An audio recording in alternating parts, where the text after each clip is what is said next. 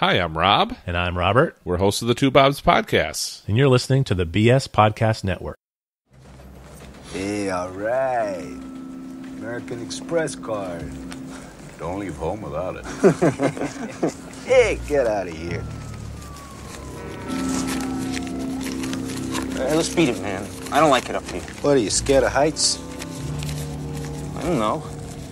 After what happened to Johnny Gobs. Hey, look, man. Johnny Gobs got ripped and took a walk off a roof, all right? No big loss. No, man. That ain't what I heard at all. I heard the bat got him. The bat? Oh, man. Give me a break, will you? Five stories straight down. There wasn't no blood in the body. No shit. It was all over the pavement. I'm getting out of here, man. Hey, shut up, man. Listen to me. There ain't no bat. Yeah, but you shouldn't have turned the gun on that kid, man. You shouldn't have turned the Hey. gun on that. Do you want your cut of this money or not? Now shut up. Shut up. Don't kill me, man. Don't kill me. Don't kill me, man. I'm not going to kill you. I want you to do me a favor. I want you to tell all your friends about me. What are you? I'm Batman.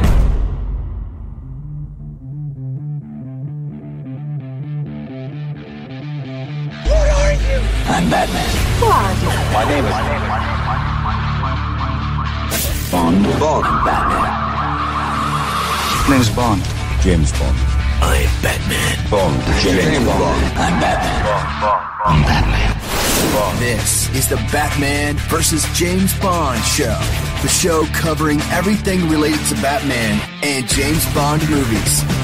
And now, here's your host, Brian Thomas. Hello, everyone, and welcome back to the Batman vs. James Bond show. The name's Thomas, Brian Thomas, and I am your host. And this is the show where we discuss everything related to Batman and James Bond movies. It's great to be back. Oh, yeah. I hope all of you have had as a fantastic week as I have. Um, yeah, mine was pretty great, and uh, well, I'll explain in just a moment. But I will say that, um, you know, I was up. It's been a long, extremely, extremely long weekend, and it even blew over into Monday. And I'm going to explain that in a moment, also. But I will say that you know I did a nice. I well, let's see. It, it was at least a six-hour commute, and then another ten hours on the way back, just because of traffic and whatever else. And um, you know, I made a trip up to New Jersey to uh, a uh, comic convention, and not so much a comic convention this time. It's called Heroes and Villains Fan Fest, and the great part about it is that it's pretty much a whole lot of actors from the TV shows. One of my favorites, as I've said before in the show, Arrow, The Flash, um, Legends of Tomorrow, um, Agents of Shield. There was um, cast from Gotham. I, I remember the guy. I, I, his name escapes me, but um, I know the guy who plays Alfred. He pretty much walked past me, and I'm like, "Hey, that's Alfred. It's pretty cool." And uh, you know, um, it was you know, I, I didn't know exactly what to say to him. I don't think I, even I was supposed to say anything to him. Who knows? Anyway, but um, because I've never really watched the show before. But besides the point, though, I spent uh, a nice three to three day weekend up there, and yes, I was rocking the Batman suit. For those of you who follow me on social media, yes, I was wearing the bat suit, and uh, I might have wore another green suit up there. But the reason I'm telling you this is because, um, you know, normally, you know, I I come back here and I do a brand new episode every weekend and week out. I think this might be the first time that I will say that this is not quite a brand new episode, and I, apologize for that. Like I said, because I was uh, I was uh, you know the past weekend I was out for like almost three days. Um, on top of that, my wife came back from her vacation, so I drove another hour and a half just to go get her and bring her back also. And um, yeah, time is well, they say time is money, and sometimes there's just not enough time in the day to be able to do everything you want to. But the more I thought about it, I'm like, you know, this might be a good time to do something that you know I've been I, I didn't want to have to do this, but I'm you know re-release material that's been put out already. Now, for those of you that have been listening to the show for quite a while, you probably know, but when you read this title, what I'm going to be talking about, and you might have listened to it already, and that's okay because you know what? I promise you, it is going to be a great show. And for the new listeners out there, you know what? If you haven't heard it, then it's new to you. That I think that's a phrase from an old. I know it is a phrase from one of my old favorite radio shows. If you haven't heard it before, it's new to you, and if you have shut up and listen anyway. No, I'm not going to tell you to shut up, but I'm going to say listen anyway, give it a chance because you know what? It is National Batman Day coming up this Saturday, um, September 23rd, 2017. Yes, I know it's actually co- codenamed Batman and Harley Quinn Day, but you know what? We're, this is a Batman show, damn it. And that's what we're going to be talking about tonight is the greatest moments of Batman, greatest, uh, a little bit of everything having to do with the, the six foot bat, the giant bat himself. And it's all wrapped up into this, you know, a little bit of a, an extended episode. And, um, you know, I, I think you guys are in for quite a treat. I I know you will be, and don't worry, I will be back all next. I will be back next week with a brand new episode. And uh, mark my words, I'm a man of my word. And um, you know, we will jump back into news. We'll get into a whole bunch of other things. I have a lot of great upcoming interviews, um, some reviews that are in the works right now. I, I can't wait for you guys to hear some of this. So, of course, just a reminder: Batman versus Bond.com. That's right, you know its name. Go there for all the latest shows and more content. You can also find the Batman versus James Bond show on the BS Podcast Network. That's bspodcastnetwork.com. Find my show and a whole bunch of other great shows on there. So without further ado, let's hop into it. National Batman Day as voted by you guys and have a great week, everybody. Bye bye. So, um, let's get down to business here. We got a lot to talk about, and I hope I'm not going to be going over on this. Um, it's well, it's kind of hard though because if you haven't paid attention to my social media, there's something coming up called um, oh, what's it called? Um, yeah, Batman Day. Yeah, Batman Day 2016 is finally upon us. By the time you listen to this, it Batman Day could have already happened. Um, Batman Day is actually on Saturday, September 17th.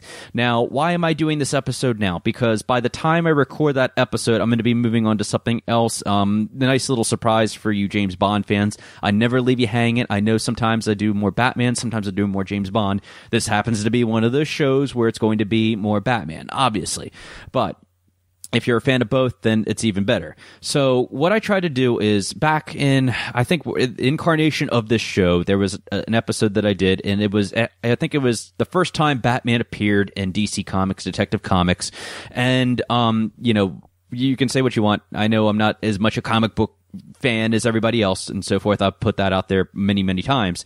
But, you know, I, anytime I can, you know, spend a whole episode talking about this character, I can, same with James Bond if I can do that. James Bond Day is actually right around the corner too in less than a month. That is going to be happening at the beginning of October. But let's focus on the here and now. Batman Day is, is here. Um, you know, this time what I tried to do, unlike my last Batman episode, is that I wanted to hear what you guys thought about. Sure, I can you know, spiel out all my favorite Batman moments, and yeah, I might be a little bit more biased towards certain movies like Batman '89 or The Dark Knight. Um, you know, maybe even The Dark Knight Rises. Um, or definitely not Batman and Robin, obviously.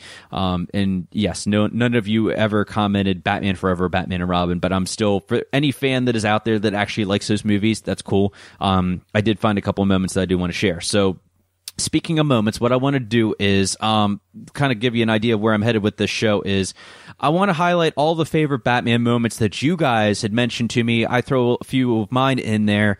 We're going to talk tonight about Batman actors, fav- your favorite Batman actor. We're going to talk about the favorite Batman of all that you guys decided, and the favorite Batman movie. And uh, I got to say that I'm a little bit surprised at what you guys chose. So let's go with this. Let's start with favorite Batman moments. We're hopping right into Batman 1989. Um, for all you animated fans out there and Adam West fans, I'm sorry, I'm not going to be talking about them at all. Um, just because I really, you know, I mean, I watched the animated series. I haven't really watched many of the animated movies aside from Killing Joke, but you know, in the years, in the time to come, I will be checking more of that and sharing some reviews. So let's focus right now on Batman 1989, some a movie that is I hold as probably one of my top five favorite movies of all time. Obviously, um, you know, uh, the, the, I can't say enough good things about this movie, but you know, when we're talking about Batman moments, okay, and you know, there's so many different Batman moments. To me, a Batman moment's almost it's like a James Bond moment. Okay, it's it doesn't always have to be a quote. It's just something about that scene that just kind of stands out. It, it's what makes Batman Batman. So, how do you introduce you know Batman to the general public, to Joe Schmo who's never seen him on screen before? Well, you have him go against some muggers, of course. So, to set it up for you, what happened is we all know when Batman came on screen for the first time that you know the muggers attacked this family. They you know hit the husband over on the back of the head with the gun and they said hey hey lady do the kid a favor. Don't scream. And of course what does she do? She screams naturally. But and I know you're probably some of you are probably finishing this and you're playing in this scene out just as I am in my head right now, and that's what I'm doing. I'm remember I'm doing pretty much all this from memory aside from a few show notes that I do have here. Okay, so you know they do their whole American Express card. Hey, don't leave home without it. See, that's my best impression I can do. So what happens is all of a sudden they look up they look up above when they're in this like little alley or whatever it is, and then what happens is Batman is standing there. He spreads his wings with his cape and so forth, and then he jumps up. He jumps down, scares the living s out of these two muggers, and then he just all of a sudden it's like he takes his wings and slams them right down, and the guys are like, "Oh my god, what's about to happen?"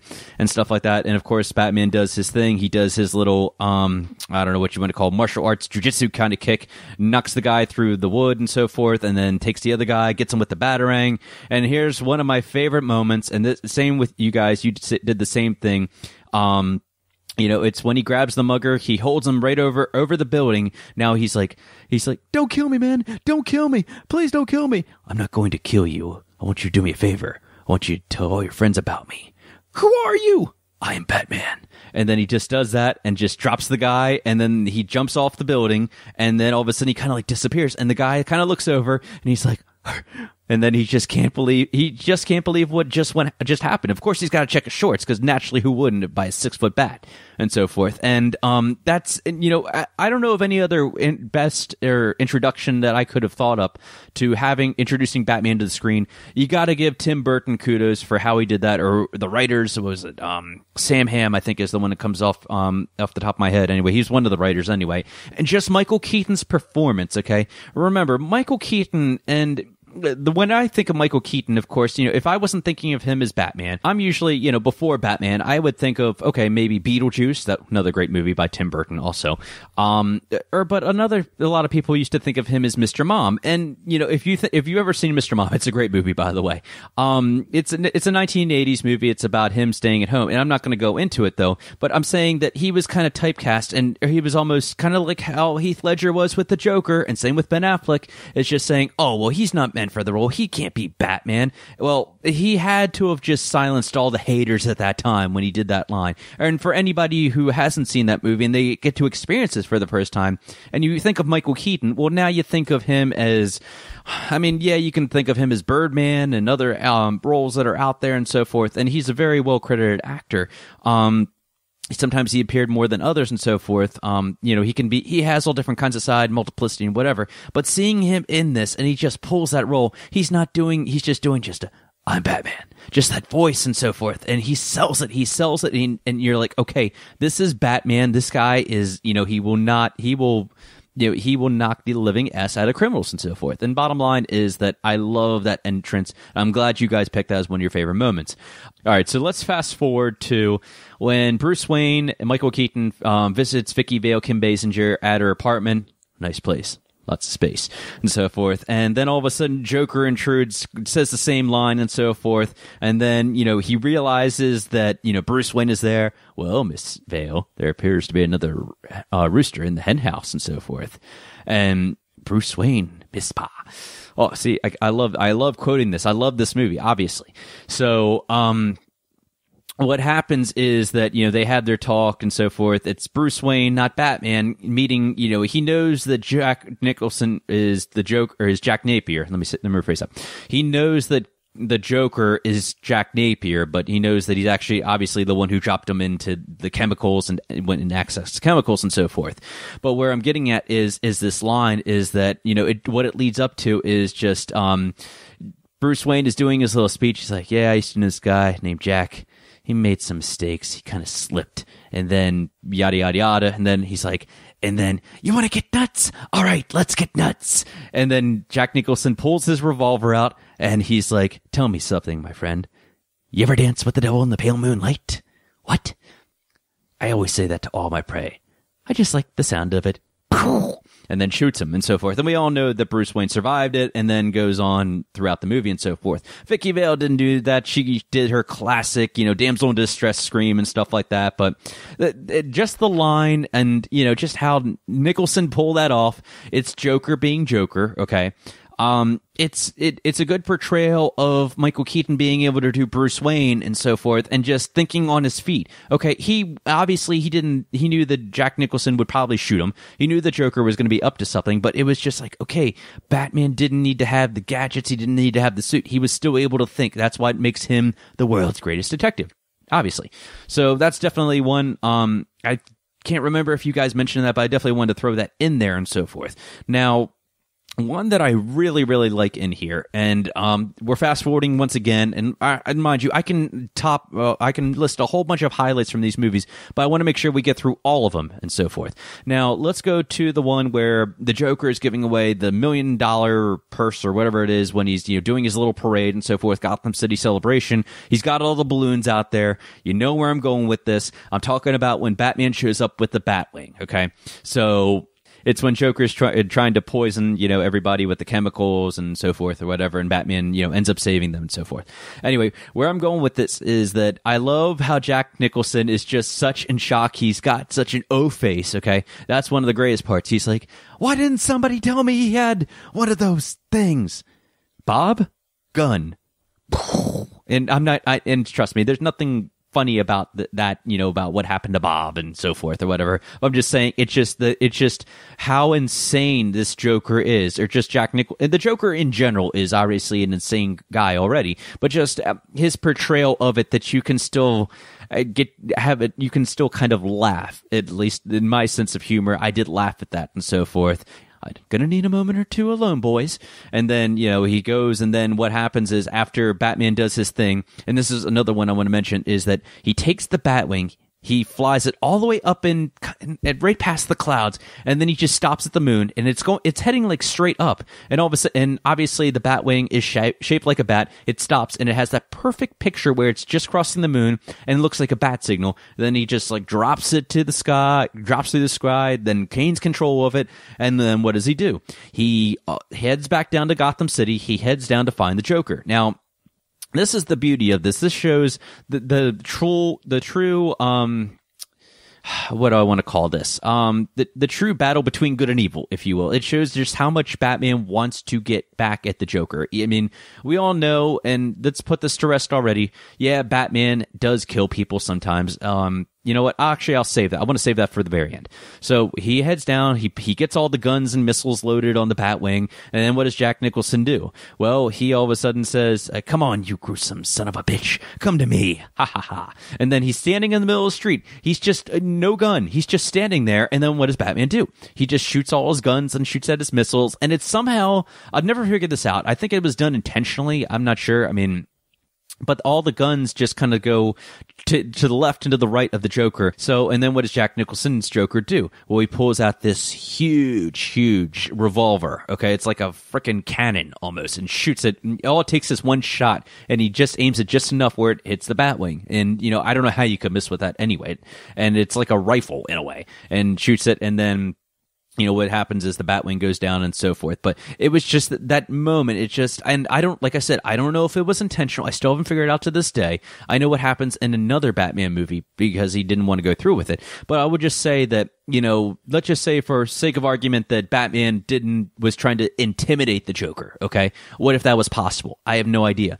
Um maybe or his he just needs to get his sights uh, fixed on the batwing. I have no clue either. But i just really like that scene. Just shows that the joker is not afraid of batman. He just said hey come on kill me. Go ahead hit me. I don't care. I got nothing to lose. Go ahead. I know you're not going to do it. And if you don't then i'm going to kill you. So i love that um, let's move on here. Um, the goods go right to the chapel, and this is a really, really good scene. Um, it's once again uh, the, the the favorite one of the favorite quotes from Batman '89. At least one of my favorite quotes is, "Excuse me, you ever dance with the devil in pale moonlight?" And punches him, and I'm talking about Batman spilling out his lines back to the Joker, and then Joker says, "You idiot! You made me remember. You dropped me in that vat of chemicals. That wasn't easy to get over, and don't think that I didn't try." That's my best Jack Nicholson. I'm in here all night. Try the veal. Anyway, so I love love that line, and then they go into the whole Batman's you know punches him, throws him into the bell, and so forth. And he said, "You killed my parents. I made you. You made me first. And then it just the lines that these ha- these two, and you know what, they've had a chance to share time on screen before. Um, you know, I probably forgot about this when they were in the art gallery. I really love that. Where does he get those wonderful toys? And if I was highlighting the Joker, I'd probably talk more about that. And I'm not really trying to highlight the Joker. It's just the interaction from the moments that the Batman and the Joker had when they were on screen. I mean, it's the rivalry. I mean, like this is the ultimate rivalry. I mean, this is what we want to see, or this is what I love to see. I love to see when the characters of just Batman and Joker are on screen. Um, and especially Keaton and Nicholson's performance. They played off each other so well. Nicholson was humorous.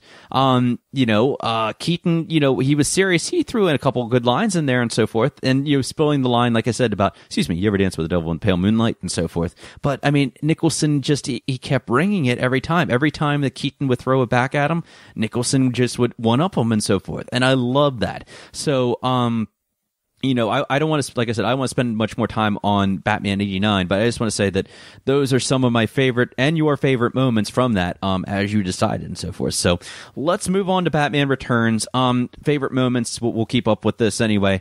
Um, you know, one that I, you guys didn't mention, but I did want to make sure that we mentioned is, um, you know, when the, we're fast forwarding, of course, where the penguin, you know, his, his um, circus clowns and circus gang is in Gotham City during the lighting of the Christmas tree and so forth and they're you know destroying the tree and so forth. The guy throws the sled and it hits the police car. Well, who happens to be in there but a police officer and Commissioner Gordon? And Commissioner Gordon is in the passenger seat and he's like, "What are you waiting for? The signal!" And then they cue the signal, and then you, you, what happens is we're we then all of a sudden put into Wayne Manor, and then you hear the sound of one of the bat signals turning, and then it's positioning towards the inside of the house. Batman is just I don't know he's he's deep in his thoughts. I would say he's sitting at his desk as if I am now, and he's got his hand on his head on his fist, just kind of thinking and so forth. The light pops on, the signal pops in into his study room or whatever his office and so forth.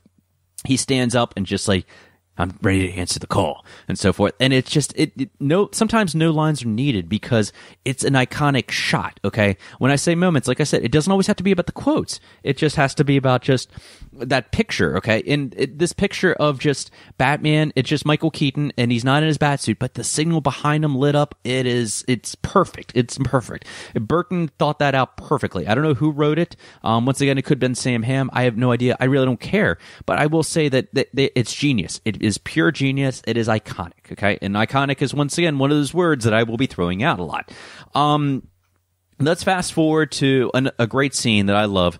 It's um, later on in the movie, or maybe at least halfway in between, and it's when Batman is, you know, couldn't save the um, Ice Princess. Okay, Ice Princess, you know, ended up falling to the ground and so forth, and you know, the police think that you know, or J- Joe Schmo, Gotham City thinks that he pushed or that Batman pushed her off the building and so forth. When it was actually Penguin, he threw his he threw his umbrella, long dart, and then the bat bats with wings, do your things, and um you know the police start shooting at at um, Batman, and you know as uh, Commissioner Gordon's like, "Hold your fire, hold your fire," and he falls off onto the roof, and then you know what happens is Catwoman catches up with him, and then just kind of like he's laying on the ground on his back, and what does Catwoman do? Well, it's Michelle Pfeiffer, and she's in that leather suit, um, and excuse me, ladies, I'm sorry about this, but he kind of uh, she we'll, we'll say that she climbs up on top of him. You know, we'll we'll keep it kid friendly here, okay? We'll keep it PG-13. We'll straddle would be a word I would like to use, okay?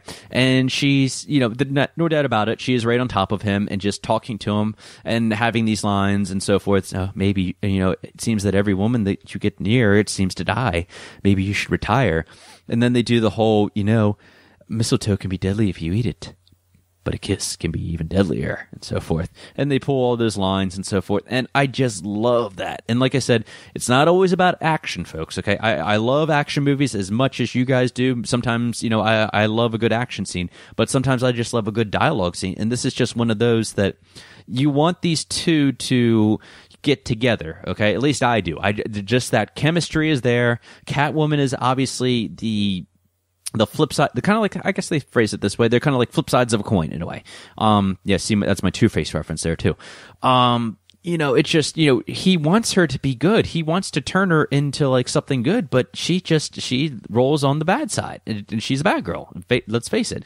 And, you know, she, he just, you know, he thinks that he's got her and he thinks he could turn her and so forth. And what does she do? She sticks a claw into his, um, we'll call it into his abdomen and so forth, and then he backhands her, and then you know um, backhands her into the bags, and then he pull, he gets his. This is another good moment. He stands up on the ledge of the building, and then he does he open he spreads his wings again, but it's kind of like a um hang glider in a way that was built in into the wings and so forth and then he just flies across into the sky and so forth. It's a really realistic approach if you think about it of how batman would fly if he didn't have memory cloth. At this time that was the closest thing we did get to it and i really love it. And he's flying when all the bats are flying across the tree and then as he flies down and he hits the ground he does his little tuck and roll and then all of a sudden the hang glider's gone magically.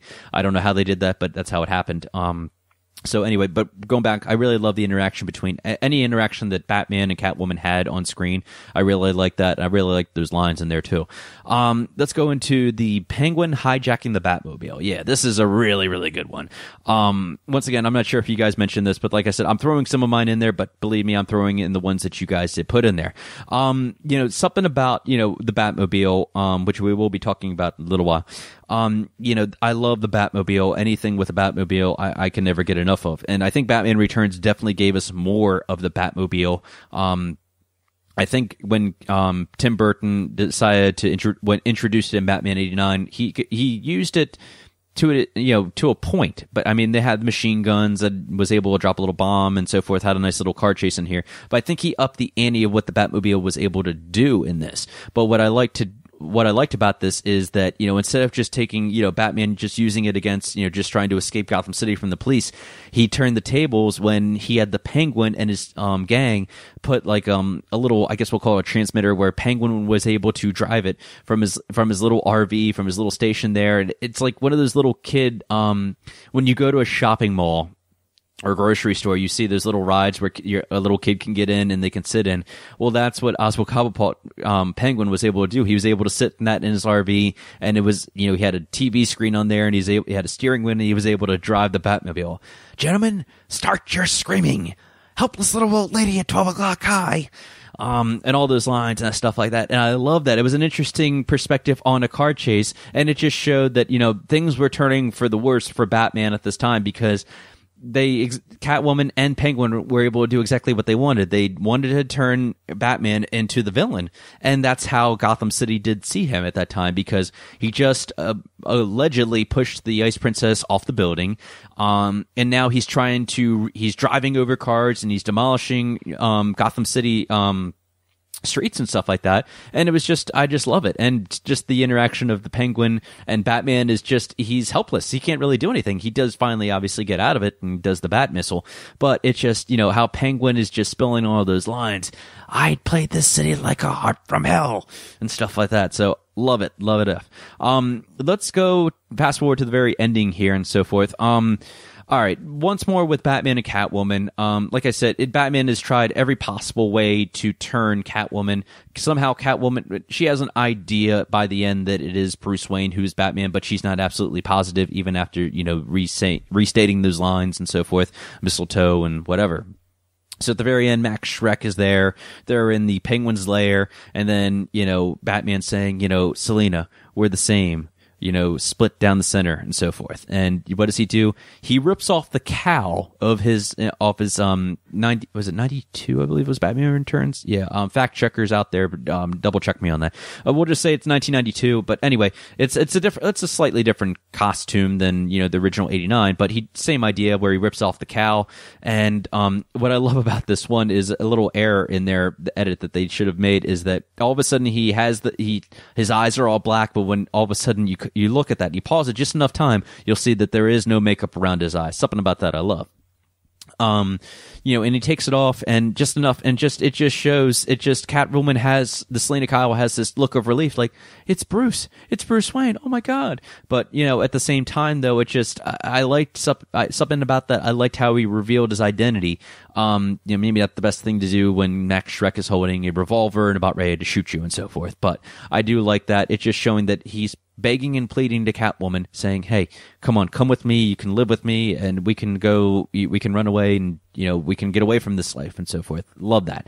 One of the uh, scenes that you guys voted as one of your favorite moments from this, though, was uh, the Penguin death scene in the Penguin funeral. Um, to you know to go off with you know after you know um Selina Kyle you know does her like whole taser thing and kills Max Shreck and so forth Batman's trying to um find her and so forth and Peng by this time Penguin is in the water and Batman I guess thought he had he died or at least was you know drowned whatever um Penguin all of a sudden just appears out of the water and so forth, and he's able to waddle over to his umbrellas. See what I did there? He waddles over to his umbrellas and picks one the umbrella, and he aims it at Batman. All of a sudden, the music, the cue the Danny Elfman music, because it just it has that that sad um, music, just where you can tell that he's you know it's dramatic music. And then what happens is that um, Batman just does this quick turn, and all of a sudden, like this, and then you know, um, what does Penguin do? But he opens the umbrella, but ends up being the kitty umbrella. It, he's like, "It was the, the wrong umbrella," something along those lines. That was such a bad Penguin Im- impression. It, delete that. Never listen to that again. Anyway, so and then he fall. He's like, "I need a nice oh, glass of ice water." Something along those lines. And then he falls over. And it this was this was a really touching scene. And i'm glad you guys picked this one up because i probably would have forgot about it because i haven't seen the movie in a little while. The penguin falls down on the ground face first but what happens is they have like i don't know what kind of penguins they were but it's they're they're bigger penguins and they're just actually people in them but they waddle out and so forth and they it's like a penguin funeral literally. And they just they all kind of drag him and they drag him into the water. And it was even to this day it's kind of touching and kind of sad in a way. And um I don't know. It just it was a great moment. I'm glad you guys did choose that. So, um, yeah, I got to keep moving on here. Now, none of you guys did pick Batman any moments from Batman Forever or Batman and Robin. I did want to throw a few of them in or a few of them in there, one from each anyway, just so we don't, you know, despite what most of you and I think about these movies, I mean, there is a there's a little bit of good in them, I would say. So, and the one I picked from Batman Forever is this one. Um, you know, it's uh after the fact that, you know, Robin is kind of like helping out Batman in a way and so forth. And um, even though Batman didn't want him to help out and so forth. And, you know, Dick Grayson spills this line. I'll just read it off this way. All I can think about every day is getting Two Face. He took my whole life. And when I was out there and I, I imagined it was him and I was fighting, even when I was fighting you and all the pain went away. Do you understand? And Bruce Wayne's like, yes, I do. Good. Cause I got to help you, um, cause you're going to help me find him. And when we do, I'm the one who kills him. And then Bruce Wayne says this. So you're willing to take a life? Then will happen like this. You make the kill, but your pain doesn't die with Harvey. It grows. So you run into the night to find another face and another and another until one terrible morning you wake up and realize that revenge has become your whole life and you won't know why. And Dick Grayson's like, you can't understand. Your family wasn't killed by a maniac, Bruce Wayne. Yes, they were. We're the same. And I really like this about this. And maybe a lot of people forget about this. I mean, maybe there's some Batman Forever lovers out there or fans. Um, you know, it just proves that, you know, at least with this whole, you know, um, Chris O'Donnell and Val Kilmer, Batman and Robin, is that they really do kind of, they did, they have, this is that moment where they actually have the same understanding. It's like, if you're, if you're like me, then why don't you help me? I want to help. I want to train me to be your partner and so forth. And what Bruce Wayne, Batman is trying to say, it's like, I don't want you to have this life. At least that's how I take it. Saying, you know what, I, I, I was in your shoes. I ended up in, I guess it was still carrying on from assuming that Jack Nicholson's Joker, Jack Napier, was the one that killed Batman's parents. That's how I've always taken it. And, you know, that's you know let's just assume for argument's sake that it is and that you know once again you have a criminal such as two-face a maniac. He kills robin's whole family right in front of him and robin's kind of helpless. He doesn't know what to do. And you know that anger he just wants to kill and to kill harvey two-face. And you know like i said batman's just saying Dick, you, this is not. I, I, don't want this for you. I ki- I killed the. You know, I let the Joker die, and you know what? I'm still out there. I'm still fighting, and it doesn't make anything better. As a matter of fact, maybe it's even gotten worse. And once again, with Batman Forever, if I haven't said this before, all the elements were there. Okay, we're we're dealing with a time where Batman is questioning if he really wants to, this lifestyle. He's having those flashbacks of um, when his parents had died, his parents' wake, and so forth, of when he fell into the Batcave. And for that, I gotta, uh, I gotta give it to Joel Schumacher for doing that. And you know, they are really, it's really showing an emotional side of Bruce Wayne. Maybe one that we really didn't get to see as much in, like, say, Batman '89. Yeah, we knew that you know Batman reflected and he looked back, saying, okay, you know, just when his parents were killed by Jack Napier. But this time we're seeing like it's the after effect. It's just, uh, you know, even to this day, Batman is still grieving with the loss of his family and tr- trying to decide, you know, can Bruce Wayne and Batman still coexist and so forth. And the Riddler says that also at the very end. But I think that's something to think about though, that as much as, uh, and I'll stick up for Batman Forever once again with this saying, you know, as much as we want to criticize that, that that message there it's can batman and bruce wayne still coexist or whatever? Can you know does bruce should bruce wayne he's faced with the question does he want to go on with that lifestyle of being batman being two people or can he be both or maybe none at all? So something to think about. Um batman and robin um it was really hard to find some good moments from this. I gotta i'm not kidding when i say that. Um you know sure i could say you know if we wanted to have the cheesiest one liners yeah we sure we, we surely could. Um i will throw this out there. Um, once again, an interaction between Batman and Robin. Um, you know, it's it's the fact that you know Batman and Robin were arguing over poison ivy. Robin thinks that you know he should have like a his own signal and so forth, and that Bruce Wayne's jealous of him because you know he can get poison ivy and so forth or whatever. And um, Batman is trying to say he's she's playing with your head, Dick. You need you need to realize this. She, he's they're tur- she's turning us against each other and so forth. And what I like about this is that you know Bruce Wayne, George Clooney had his moment where he's saying, "So I'm asking you, friend." Partner, brother, will you trust me now? And so forth. And he's kind of saying to Robin once again, saying, okay, you know what? I know it's my way or the highway and so forth. And, but you know what? I really know what I'm talking about. And I don't, this is not worth, you know, us going against each other and so forth. She's turning us. You, you're my friend. You're my partner. You're my practically my brother. We need to stop all this disagreement and just you know we need to go get the bad guys and so forth. So I did like that moment, and I think, like I said, there are a few redeeming qualities of Batman and Robin. Um, it's hard to find some, but there are some good quotes in there. I've said the Alfred quote many, many times. That's why I didn't want to pick that one this time. But all right, moving on here. Favorite Batman moments. Once again, um, we are going into Batman Begins. Um, yes, a lot of you did have a lot of moments from Batman Begins. So let's go into the ice training. Um, or the the sword training on the ice and great great scene in here. Um just the cinematography and so forth everything by Wally Pfister. Um and just the lines and it just it's obviously the it's before Batman actually begins. See what I did there. Um but I, I like seeing the training aspect of this and just seeing how he has be, how he tra- he's training as a ninja. Some people don't like that but I really like that. And it makes more sense especially when you think about the character of Batman. It's like okay well how did he get uh, how did he become Batman? Really like that but the ice training, going back to this, Ra's al Ghul was saying, your parents' death was not your fault. It was your father's. And, you know, Bruce Wayne is just like, I can't believe you said that, you bastard. How dare you say that about that? And he's like, well, I've had training. And then Ra's al Ghul is like, the training is nothing. The will is everything. The will to act. And, um, and then all of a sudden what happens is, um, Bruce Wayne, you know, tricks him and gets uh, Ra's al Ghul on the ground and says, "Yield."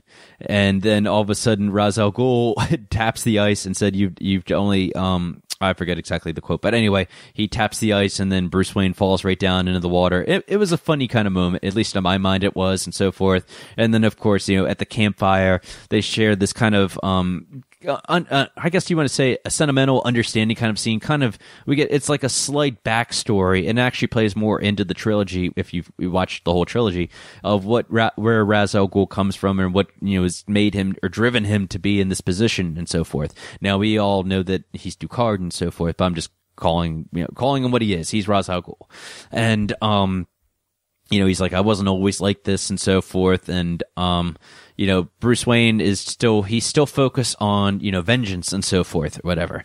So I, like I said, the, uh, the sword ice training, I, as I like to call it, I think that was a great, great scene in here. Um, like I said, once again, you know, I, as much as I want to see Batman in costume as much as possible, it's still refreshing to see this kind of a, this spin put on this at the very beginning, um, with, uh, Batman movie. Um, another one that you guys mentioned in here, and like I said, there's a lot of good ones in here.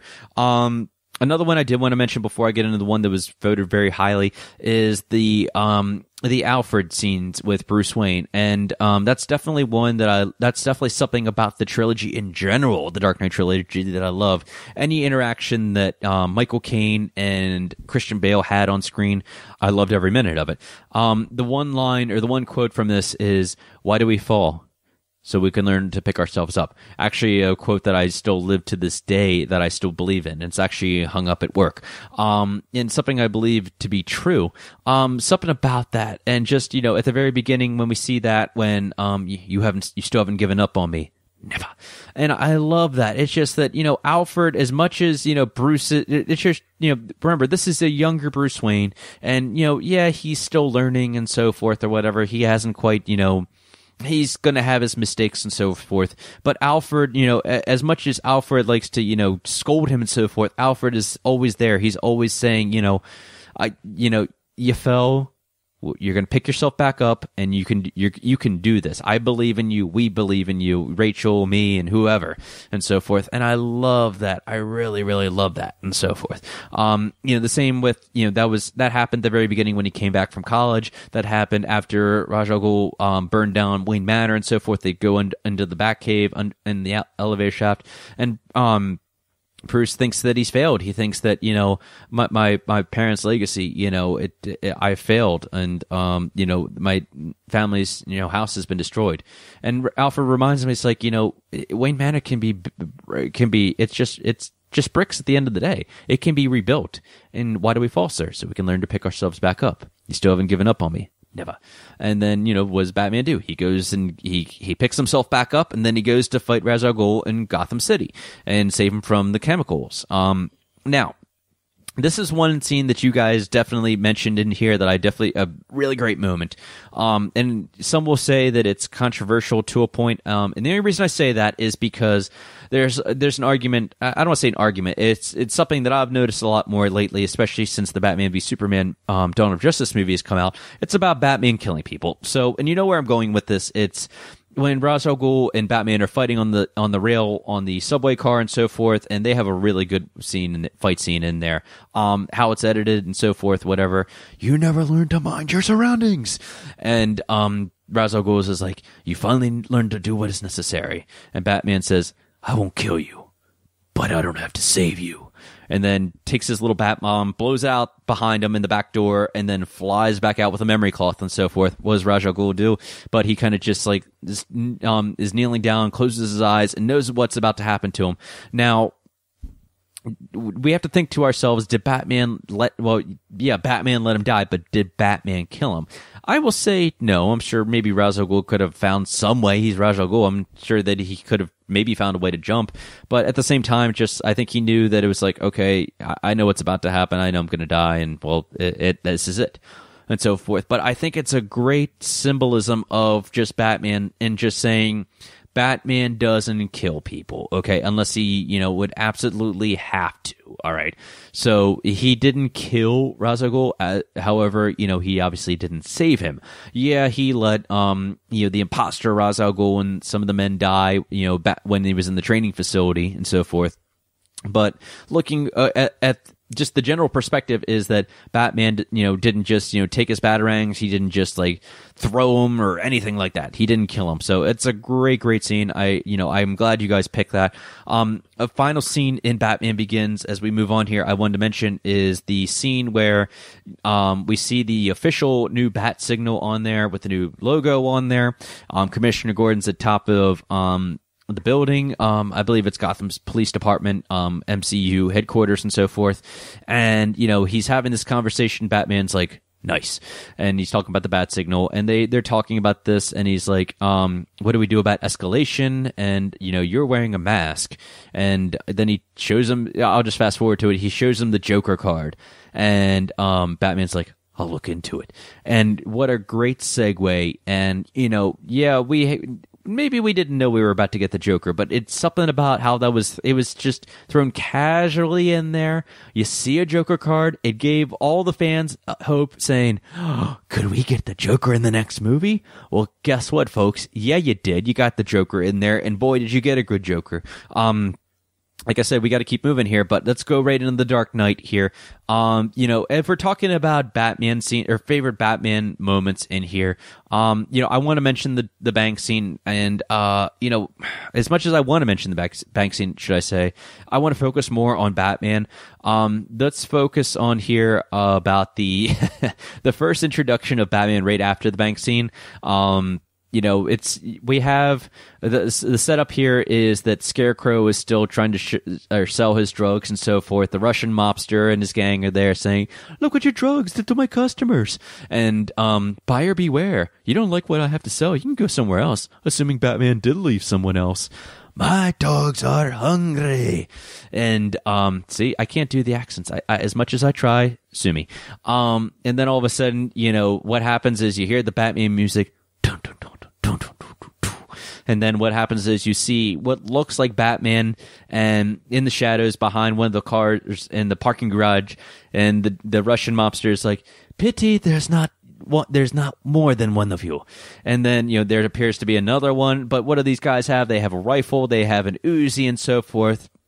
And Scarecrow realizes that's not him. And then what happens is the tumbler rolls, just pops right into the garage. And then what does Scarecrow say? That's more like it. And then all of a sudden Batman pops up and starts, you know, he takes care of the mobsters. He, you know, he, um, he gets in the fight with the dogs, which was really funny, by the way. Um, you know, he has his little fist thing, his little power fist, and he's trying to cut into the, um, van when he's trying to catch Scarecrow. He gets knocked into the wall and so forth. But what do you, what happens when you fall? You pick yourself back up, right? So he gets up and the cars driving around uh, or circulating down the um, rest of the parking garage, and Batman just jumps and just falls and lands right directly on the van. And then what happens is he all of a sudden he takes the mask off Scarecrow and he finally catches Doctor Crane.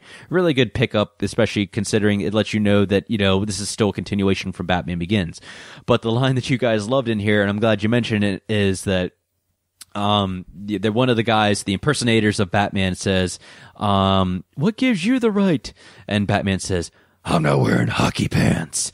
And, um, you know, it's just, it's such a great line. And a lot of people, especially with the Comic Cons, they love to, they, they throw that line at me and so forth. And it's just, it's a classic moment just saying, you know, what, what separates a guy who dresses up in a mask and, uh, and a cape and so forth? Well, Batman is Batman because because I'm Batman. There, I had to say it. I had to throw it in there. So it's just, it was a great, great moment. I'm glad you guys mentioned that. Um, you know, let's fast forward here, and this goes back into the interaction, like I said, about Michael Caine's Alfred and Christian Bale's Bruce Wayne. And some of the lines, and one of the greatest lines in here is actually from Alfred when he's talking about talking to Batman. They're looking at, at they're in the technic we'll call it the Batcave. Okay, it just it's not Wayne Manor's Batcave, but it's the Batcave that's you know it's the um where the tunnel was, I guess you could say. Anyway, so they're looking at the screen, they're looking at pictures of or the video of the Joker when he recorded it and so forth, and um. Bat- Bruce Wayne says, I knew the mob wouldn't go down without a fight, but this is different. They've crossed the line. And Alfred's like, You crossed the line first, sir you bullied you hammered and you bullied them into the desperation and um you know, and they turn to a man that they didn't fully understand. And then he says this line, and I have to quote it word for word here, because some men aren't looking for anything logical, like money. They can't be bought, bullied, reasoned, or negotiated with. Some men just want to watch the world burn. And it's just like, oh, I love that. I love that line. I remember from the teaser trailer even too. And just, you know, Alfred is saying that, and then it goes into the whole Joker saying, starting tonight, people will die. I'm a man, my word. And it just, it's just one of those lines. It's just, it just, like I said, sometimes dialogue can speak better than action, guys. It really can. And just, this line will stick around for such a long time to come. And it just, it, it sums up everything about the Joker and it sums up about, you know, Batman trying to understand the Joker.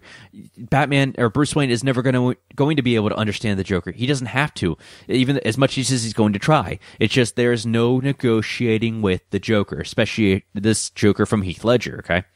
Um, um, let's fast forward into the, um, scene where Batman, you know, uh, they had the he's on the Bat Pod and he's trying to get trying to protect Harvey Dent in the armored car. Um, Joker's chasing him in the 18 wheeler and so forth. And then he, of course, the, the scene where they flip the 18 wheeler, which was great when he's on the Bat Pod and he's like, he missed. And then all of a sudden, the, what happens is he, the, the cables snap into the uh, road and all of a sudden the tractor trailer just flips. And let me tell you, folks, that is just classic action scene right there. That's not, I mean, maybe I'm sure they had some special effects, but sometimes classic action is the best way to go. Just nor- regular d- effects sometimes, I guess you could say.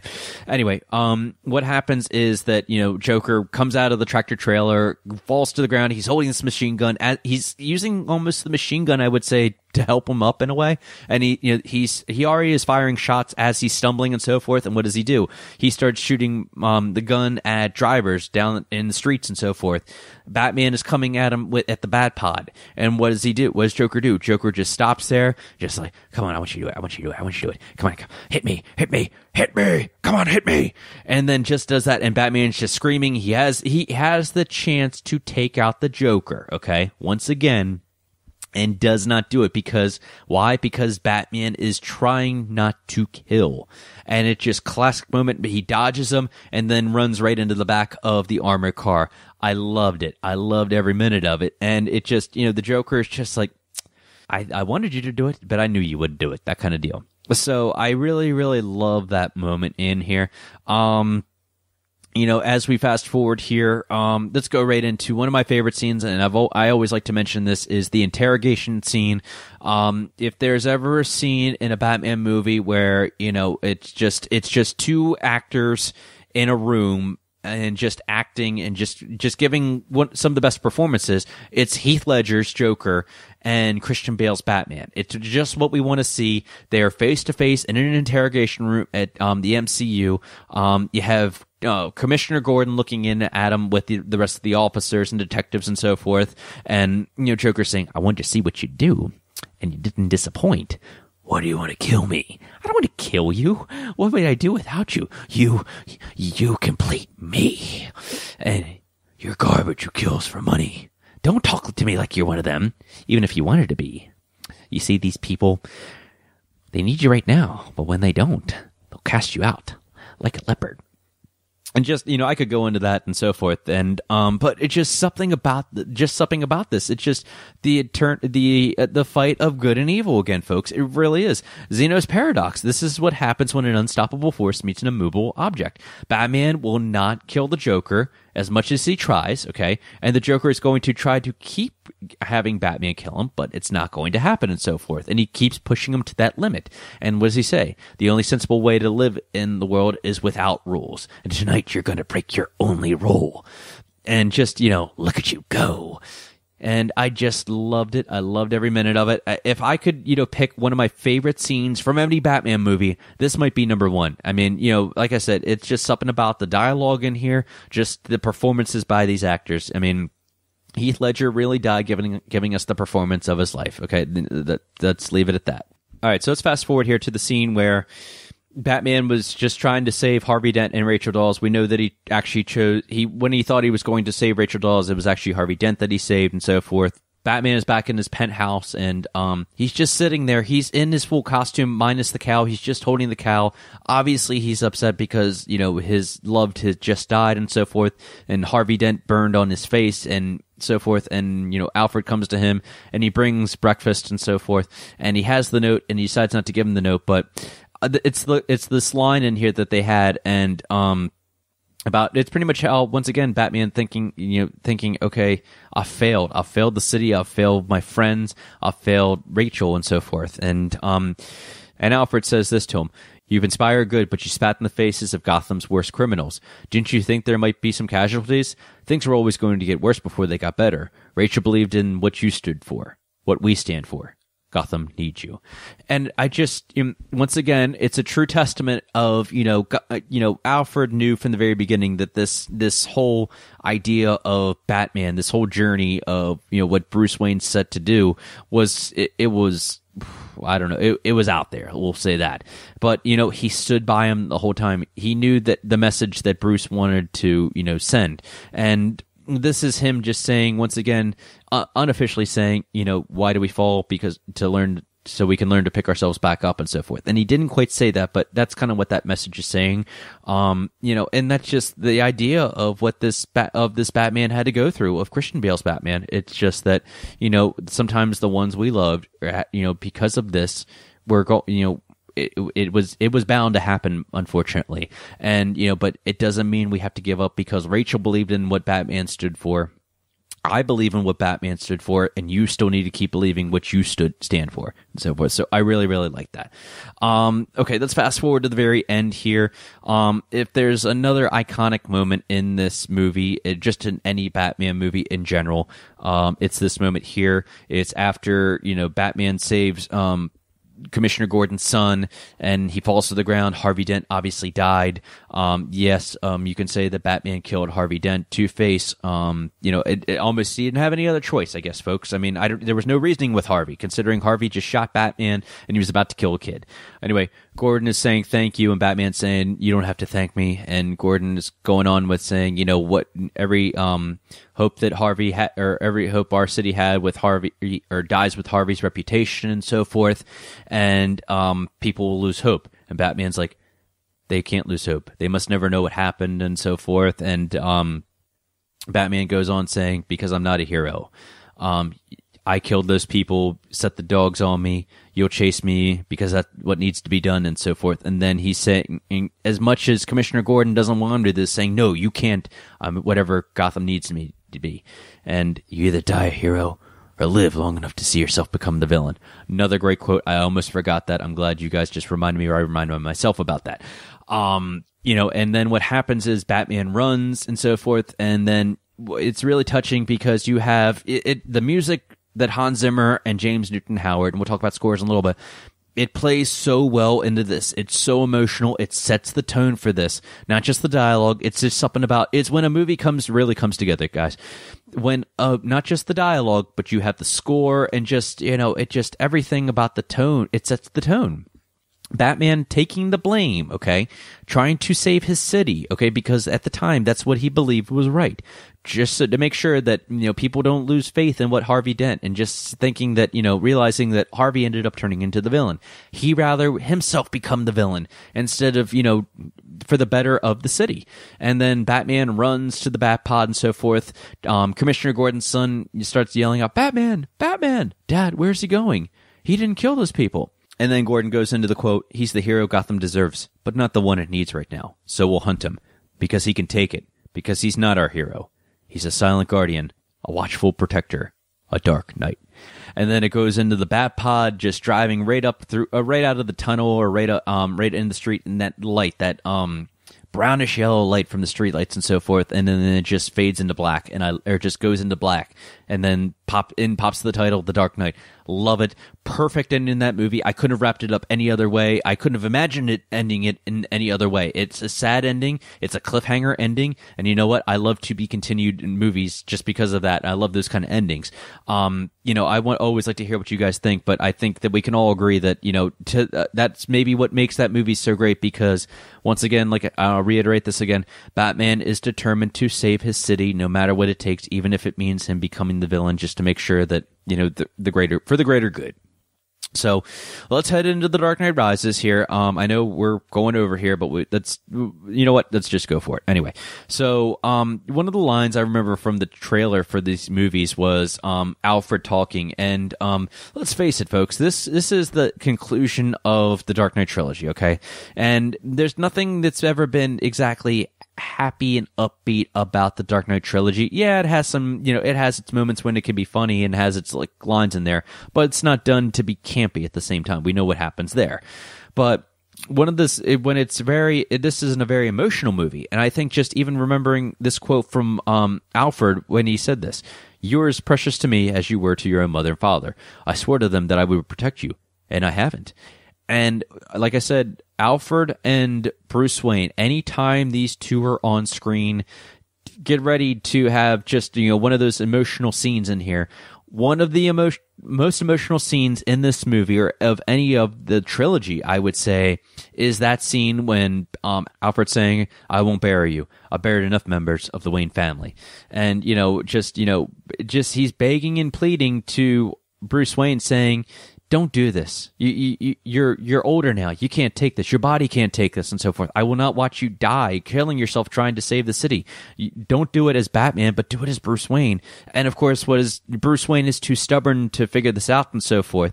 And you know, it's just it's so sad because Alfred is he is breaking down in tears and you know he's like I, I know what this means it's the end and you know it's a, it's a meaning that you know uh, I forget exactly how he said, but in other words, how he's watched Bruce Wayne grow up and so forth, and you know, someone I've watched, I've taken care of since you know your parents have you know since you were born and so forth, and he doesn't want it to end like this. It's like you know what, if this is how you're going to go, Bruce, if this is you want to kill yourself trying to be the symbol, then uh, I'm finished. I'm moving on, but I'm not going to watch yourself do this to yourself.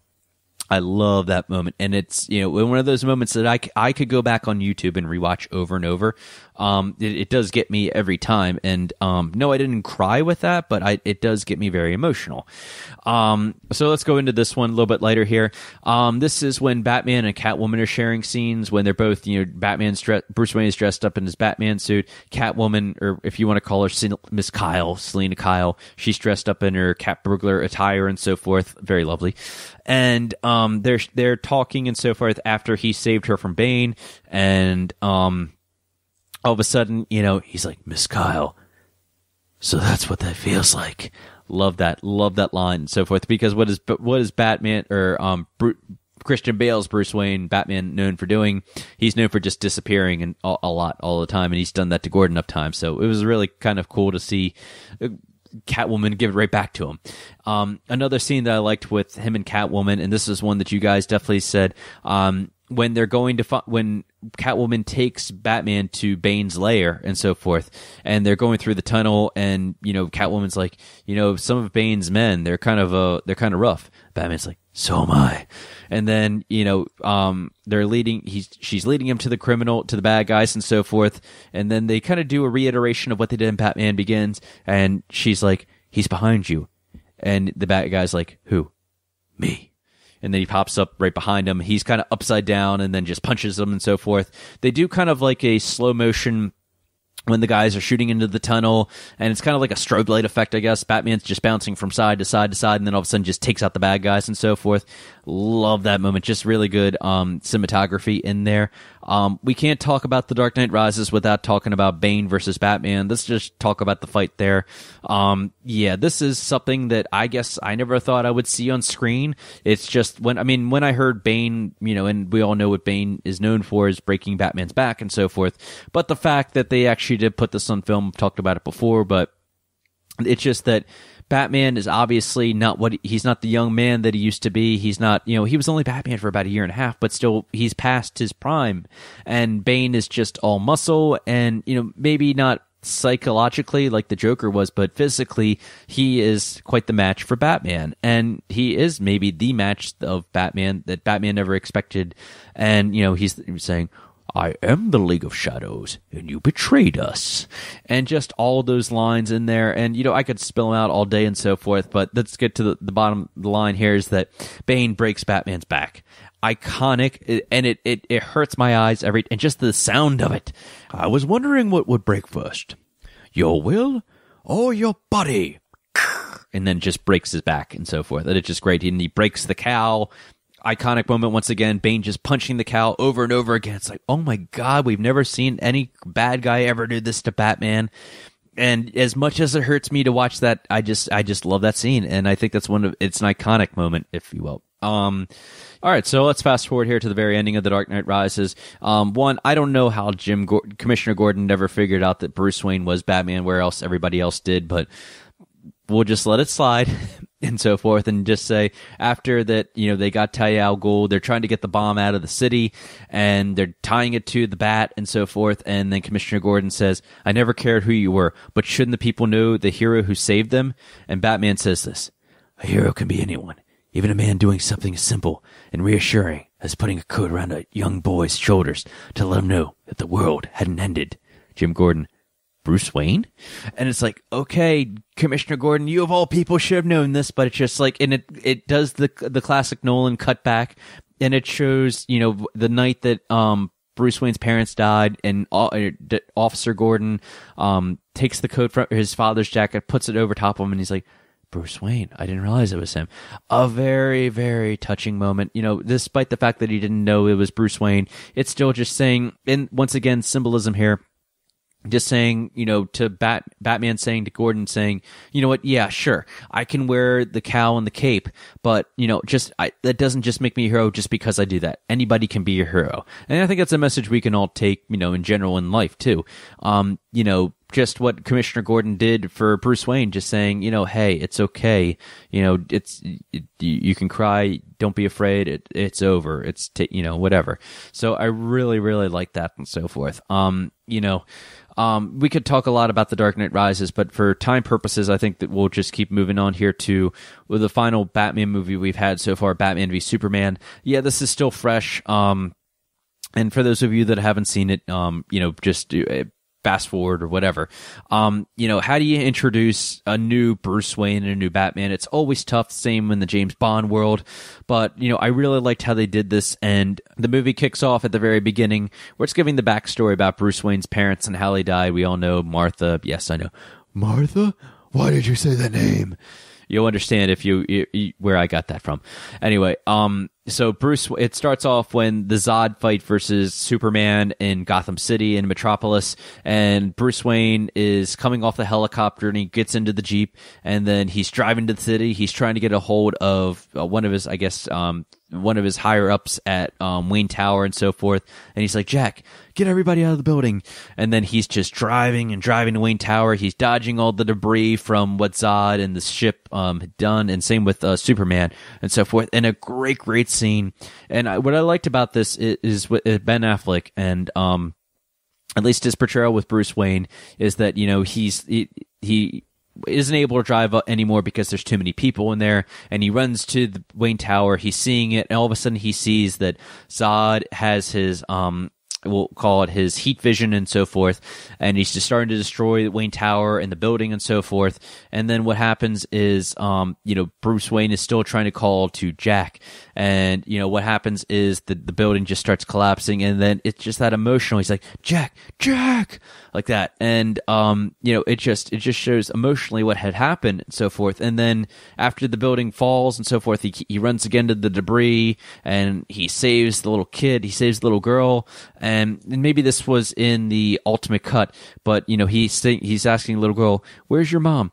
and she just points to the building, and all we see is just a just a demolished building, and there's really nothing there, and it's just so sad. He hugs the little girl, and you know it just he ha- he just has that look, and sometimes um expressions can speak louder than words, I guess you could say. And he just has, he c- turns from a sad look to an angry, angry look as he's watching Zod and Superman fight in the sky. And it, obviously, you know what's about to happen. It's about to be the resurrection of Batman and so forth. And as the, um, one of the guys said in the movie, saying, there's a new kind of mean in him and so forth. And, you know, let's move into this where, you know, obviously, you know, there was a misunderstanding. Bruce Wayne, Batman took it as that Superman was here possibly to destroy the world and or could destroy Earth and so forth. And th- what was interesting from this perspective is that, you know, he's out to stop Superman and almost even willing to kill him. And then Alfred, and we have a new Alfred here we have Jeremy Irons, and I really like the performance once again.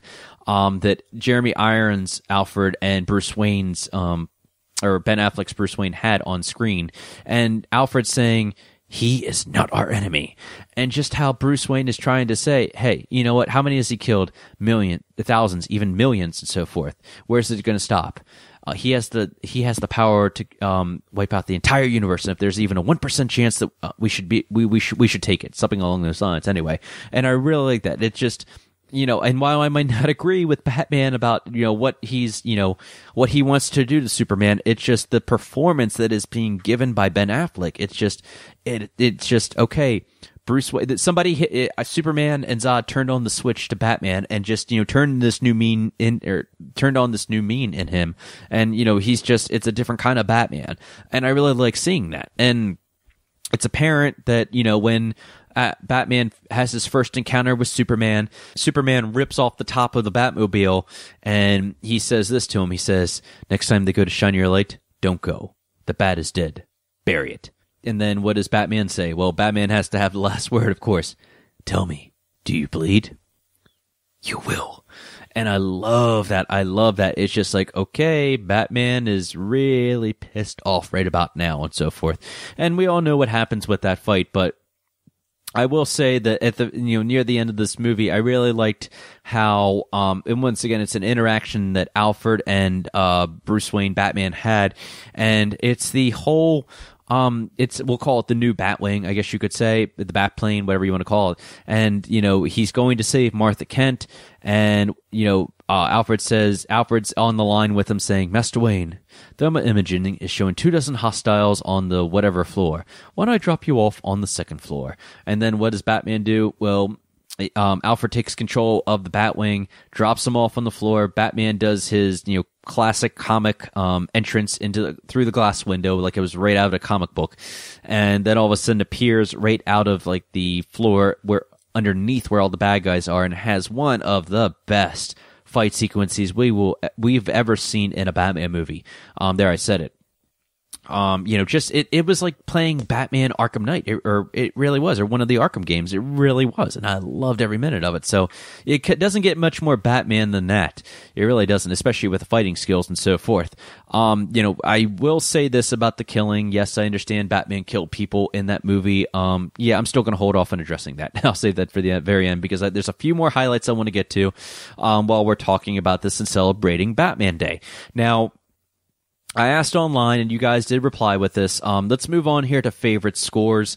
Um, you know, I love nothing, like I said, something about a score in a movie, um, can really set the tone. Um, you know, sometimes, like I said, you know, actions can speak louder than words. Sometimes it's the dialogue. Sometimes it's just the music. Okay. And I think we're all in agreement that Danny Elfman's Batman theme is just just the Batman theme in general at the very beginning of 89, at the very beginning of Batman Returns. Um, you know, it's just something about that theme. Dun, dun, dun. It just sets the tone for it. And, I, you know, it, it's on my, it's on my iPod. It's on my iPhone. I listen to it all the time. And trust me, try working out to this music for any Batman score or any James Bond score. And believe me, it will get you pumped up. Um, you'll think that you're Batman and you want to take on the whole world or even the Joker. Now, um, the ones that you guys voted as your favorite scores, this came as a surprise to me. Um, you actually said Batman Returns by Danny Elfman. Um, you know, I don't have, uh, I might have, I will say I really don't have any of the the Batman Return score, and I never I don't know why. I have, of course, the '89 score, but you know I went back and listened to it, and there are some really good pieces on that. So that's a great score. So if you haven't listened to it, um, definitely check that out. You can you know get it on iTunes, you can listen to it on YouTube or whatever. Um, another score that I think we're all in agreement in is the Dark Knight score. Um, you know, if you're able to find um, on YouTube or um, on iTunes like a the complete score for The Dark Knight, of course, the the the Batman theme that um, Hans Zimmer and James Newton Howard put together is amazing.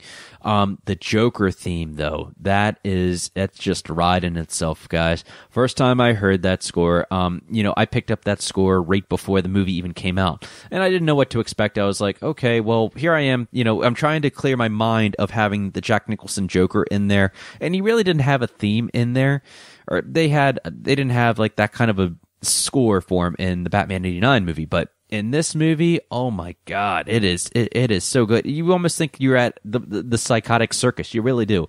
And when you listen to the score, you'll understand. And um, maybe one time I can find a way where I can play some of the music on here. If we can legally do it, then I will. But we got to move on here. Anyway, all right. Favorite Batmobile. All right. Um, no surprise here what you guys picked, and I'm right here with you. Um, the Batman '89 Batmobile. Oh yeah. Um, give me as much of that as you can. Um, any scene in that movie, I love that Batmobile. Sometimes I wonder if I love that more than the Tumbler. And you know what? I think I might like that just a hedge more than the Tumbler. And I do love the Tumbler Batmobile from the Dark Knight trilogy. I really, really do. But I can go back and watch these movies or I'll see pictures of the um, 89 Keaton Batmobile. And you know what? It might win. Um, another um, one that you guys threw in there was actually Batman Forever. And you know what? Um, I will say that actually is a pretty cool looking Batmobile. Um, the one part that stands out with me with that Batmobile is when he drove on the side of the building with that. He um, used his grappling hook when he, he was getting chased by Two Faces men, and he's driving in Gotham City on the side of one of the apartment buildings on that. And I really, really like that. I really do. Um, maybe not my favorite Batmobile. Like I said, I'll stick with the 89 Batmobile. I'll agree with you guys on that and the Tumbler. Really close between those two, but yeah. All right. So favorite bat suit. Um, the favorite bat suit that you guys had picked was, um, surprisingly to me was Michael Keaton's bat uh, suit. Um, you didn't really specify. I would assume that you guys are talking about either the 89 or the Batman Returns ones. I think a lot of people like the 89 one. It's just because it was the first, maybe. I'm not sure. Um, you know, in my mind, I, you know, when I go back and watch Batman Returns, I would actually pick the Batman Returns in there. I think it's because I liked the logo that the chest emblem that he had on there. It's because they were actually able to use the real bat or one of the, the actual bat symbol on there. Um, the bat symbol that was used in 89, there was some kind of legal dispute on that. So they kind of had to change it up, something along those lines. Um, I'm not just making that up, but off the top of my head. Anyway, um, yeah, the Michael Keaton bat suit is definitely a great one. I will, I mean, we all know possibly by now what my favorite bat suit is because that's what I bought and what I wear to the cosplay or the Comic Cons is the Batman Begins suit.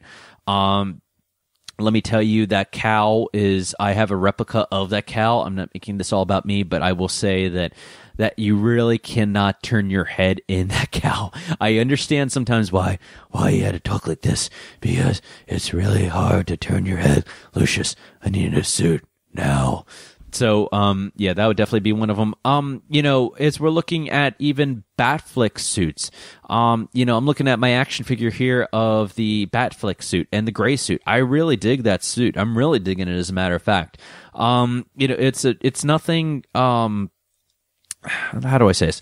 It's it's an interesting spin on it just because it's not just all black. He's got the the um, lighter gray in there. He's got the oversized bat um, symbol on his chest. The cowl. When you look at the cowl, sometimes you know maybe you guys like the the longer, pointier ears, like in a Keaton cowl. Um, you know, for if we're being you know going really specific, if you like how the cape draped over his suit and so forth.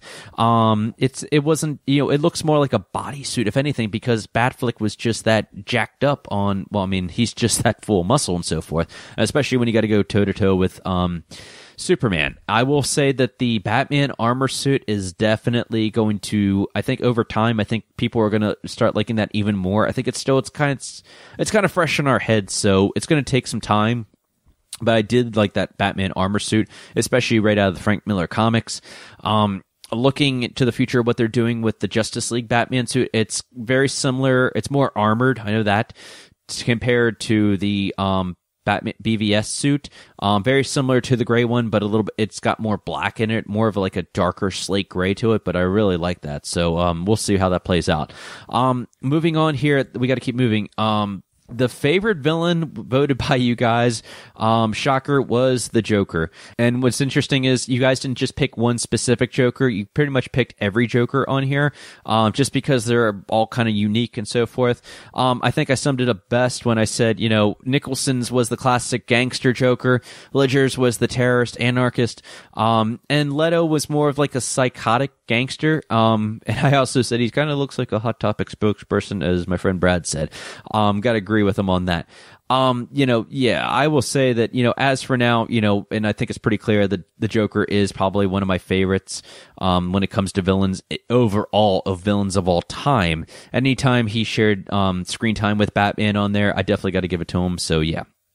Um, all right, this was the tricky one. Uh, favorite Bruce Wayne. Um, I knew what I would pick, but it was really interesting to see what you guys would pick. Um, it was between Bale and Keaton.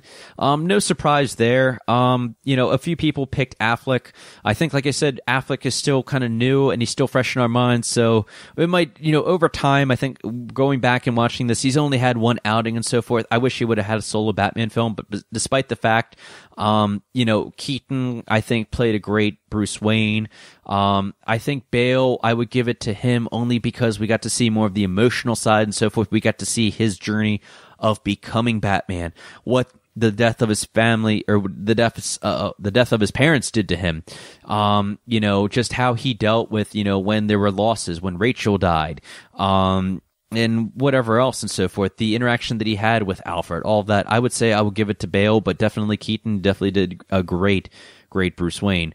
Um, favorite Batman. Um, this one you guys also said it's going to be Keaton. Um, we had Affleck in there. We had we had Bale's voice. I think that was really funny. Um, that's by Rose's Revenge on here. Um, lots of Keaton on here, as a matter of fact. Um, James Bond Down Under. You guys even said Keaton on there. Batman. I'm sorry, Burton's Gotham. You said Keaton. Shocker. Um, yeah. You know what? At, over time, I think we've seen that. You know, no matter how old um some of these Batman movies are. Keaton always ends up being the one that played the perfect Batman. Maybe it's because of Bale's voice. Um, maybe it's just because um, Keaton, I don't know, he's still my Batman. So I will say, yeah, when I think of Batman, I will still probably give him the upper edge there. Um, you know, I like like I said, um, when it comes to this, I mean, Bale. Bale played a great Batman. He really did. Affleck played a great Batman. Affleck, like I said, over time needs, you know, we need to let it sink in, if you will. Okay. I mean, like I said, when we get that solo Batman film, then we can make a better judgment on how Affleck does. I think that he did do a great Batman. I like how he, they did his voice. Bale's voice over time, it got kind of old. You don't need to keep the city to show you that it's full of people who are ready to believe in good. And it's like, okay, dude, you don't have to overdo it. I, I mean, I can still, I still love every minute of it, but at the same time, I can see people's argument with that Whereas Keaton's just like, excuse me, you ever dance with the devil in the pale moonlight? And you know, I, I like that. So, um, yeah, I guess we can give it to Keaton on that, but you know, to each his own and so forth. So, all right, let's hear it. Favorite Batman movie. All right, so favorite Batman movie. I will almost call this a tiebreaker here. Um, we all know that you know, '89 Batman's one of my favorites. We all know Dark Knight is one of my favorites. You guys were right there with me. Um, you know, Book Mutant, you said the Dark Knight for you so far. Um, you know, uh, the Darkman fan, Batman Returns was yours. Um, Tumius 179, you said it's a flip between 89 and the Dark Knight. I fully agree with you. Supernova, um, 1235, you even said the Dark Knight um, was your favorite. Rest in peace, Ledger. I 100% agree with you. Um, those are two of my favorites so far, and I think they, I think when we look back at these two Batman movies, um, does 89 hold up? I will say overall it does. I think The Dark Knight might hold up a little bit more and it might be it's not because it's newer. I will just say that uh, it's just the performance in there. I mean, it's just the action scenes, but the, the performances, Oscar caliber performances. Yeah, Heath Ledger got an Oscar because his role was just that damn good. It really was. Um, you know, I'm not saying that it doesn't take away from Nicholson's. It'll never take away from Keaton's. I just think that, um, you know, to each of them, uh, you know, it's something. Once again, Batman versus the Joker, Bruce Wayne, and just his personality, what drove him, and so forth. And I really love both these movies, and they will forever probably be one of my two or two of my favorite movies of all time. So, um, you know, as let's finish this up here with the future of Batman, and um I do want to say that, you know, right now, let's look at where we stand with Batman. At, at the present time, 2016, we're look dealing with the time of we're fresh off Batman v Superman: Dawn of Justice. Bat, we have a new Batman on screen, Batfleck. Um, we have another. Um, we had Suicide Squad where he had a cameo in there, and um, the biggest thing with DC, the the DCU, as I like to call it, the DC Extended Universe, is that people were afraid, or the studio's too afraid, or whatever the movies are too dark. Okay, the tone is too dark. They need to go for a lighter tone. They need to go to. They need to add some more humor. They need to be like Marvel. And I'll, I'll keep saying this till the end of time that you don't need to be like the other guy. Okay, with same with you know back, going all the way back to Burton's Batman films. Okay, there was nothing else like that at that time. Those set a template for what a Batman movie can be, okay? Or just what the superhero movie can be, okay? You don't have to be like the other guy. You don't have to be a follower, okay? Um, the same with the Nolan trilogy. So Nolan put a realistic approach to that. And, you know, he was still able to pull the darker, grittier. He had some jokes in there, as did the, the Burton films in there. Well, what happens when you have too much of a lighter tone? Well, then we go into the Schumacher films. And like I said, you know, we can bash on the Schumacher films as much as we want. And if you want a lighter tone, guys, and for those fans that are out there, then I'm afraid we're going to end up right back from back to Batman and Robin. We're going to have everybody chill. Um, you know, we're going to have the, the cheesy one liners, you know, of back card. Don't leave home without it and all this kind of stuff. And you know what? Honestly, I don't want that. And I, I believe that a lot of us don't want that. And I'm afraid, I, I will say I'm a little afraid that, you know, when when a studio starts listening to what Joe Schmo has to say out there, I liked Batman v Superman: Dawn of Justice. I truly did. I like Suicide Squad. Suicide Squad. Excuse me. Um, yeah, they were darker movies. Okay, but you know, it's just how it was written, and I think if they can just say, "This is the I, this is the path that we want to go. This is the direction that we want to go," and just go with it. Let's not worry about what uh, whatever studio what that starts with an M and ends with a you know L, um, that's headed by a, a certain little mouse then you know let's just do our own thing. That's what makes DC, the DC comic or the D, Warner Brothers Studios them. So you know what? I'm I I know Justice League is going to be lighter, and they've really addressed that. They've even said in the recent news this week that saying that they're going to address why Batman killed in Batman v Superman. Yeah, Batman killed people in there, but I hate to say it, folks, but yeah, Keaton's Batman kill people. Bale's Batman kill people. even Kilmer's Batman kill people in there. He killed Two Face. He threw up the coins and Two Face fell to the ground and so forth. So, I mean, Batman believes in not killing, and depending on which interpretation you you you um believe in or that you like, I mean, yeah, maybe in the comics, you know, there were times where Batman didn't kill kill people. Um, there's times where he did. I mean, honestly, it doesn't bother me. It, it, I don't think it should bother you guys. That's that's completely up to you. I mean, I know what Batman stands for, and I still believe that you know his main objective, of course, is to not, his one rule is not to kill people or not to kill the bad guys, and that's what separates him from the bad guys and so forth. And in a way, Batman was the bad guy and Batman v Superman. So I'm interested to see how they're going to address this. Um, you know, when it comes to you know the new uh, the new approach that they're doing with the Batman films, we know now that they're going to have Deathstroke in you know in the solo Batman movie. That's been confirmed by Geoff Johns, the head of DC Comics or the DCEU. Um, looking forward to that. I'm looking forward to you know new villains being introduced with this. I mean, sure, I love as much as anybody else to see the Joker versus Batman. I'm looking forward as long as Jared Leto comes back as the Joker to see what his Joker can do versus Ben Affleck's Batman. Um, at the same time, I'm looking. I like this fresh approach they're doing of having Deathstroke um, Joe, however you say Mangelino, however you say his last name, he's the big guy from Magic Mike, and uh, I'm Sofia Vergara's husband. I'm really looking forward to um, seeing what he will do versus uh, Ben Affleck's Batman. I think it's going to be a really physical battle. So, um, yeah. So happy uh, anniversary to Batman in general. Happy Batman Day, everybody! Yay, we made it. Um, you know, happy belated birthday, by the way. As as long as we're talking about Batman's here, happy belated birthday to Michael Keaton. I missed you last week. Happy birthday birthday, bud. Um, and a happy birthday to Desmond Llewellyn. Yeah, he was, you know, this is the James Bond universe, but, you know, he played Q in 17 Bond movies. Um, nobody does it better. Um, he was Q and he forever will be Q. So that about wraps it up for this episode of the Batman versus James Bond show. Yeah, as I'm losing my voice here if you couldn't tell. Uh, please subscribe on iTunes, rate it five stars and leave a nice little review for me on there. Thank you. Follow me on Twitter, Instagram, and Facebook at Batman versus Bond on all social media. As I mentioned at the top of the show, you can now find the show on the BS Podcast Network. Please be sure to check out all the great programming on there. Next week, James Bond fans, I will have a nice treat for you. Don't worry, I will not leave you hanging. So, like James Bond, I will return until next time. I'm Brian Thomas. Thanks for listening, everybody, and have a great week. Bye bye. Peace out.